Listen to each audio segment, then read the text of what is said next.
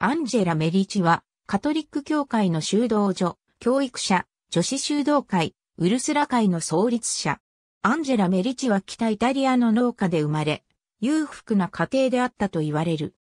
幼少の頃、イントン社、ニコラ・フォン・フーリエに憧れイントン生活を試み、外出したが叔父によって連れ戻された。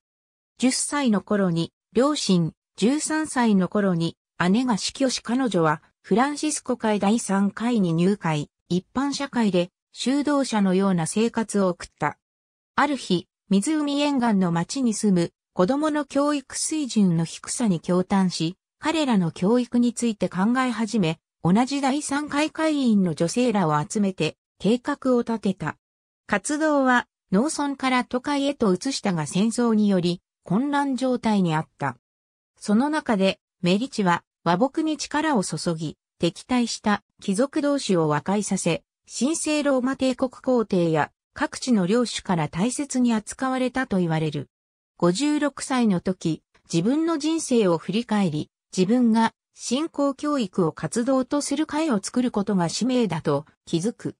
メリチは信仰教育を中心とする新しい形態の団体を設立し、その保護者としてケルンの殉教者の一人、セウルスラを選び、後にウルスラ会の由来となる。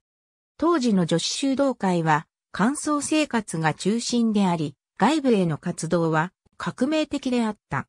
最初は一般信者の会として発足し、メリチの死後、女子への一般教育を授ける修道会へと発展した。晩年は世間から成人として慕われたが彼女は素朴な女性であった。1540年死去。1808年劣勢。ありがとうございます。